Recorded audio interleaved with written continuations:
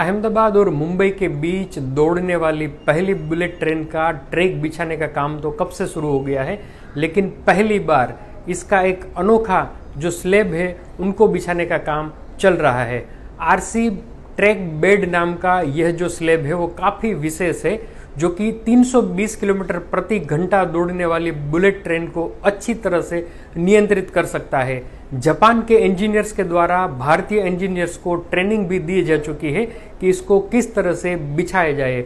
और यह कम से कम 300 mm का उनका जो लेंथ भी होता है तो सूरत में ये काम शुरू हो चुका है और आगे जाकर मुंबई तक ये काम धीरे धीरे आगे बढ़ेगा।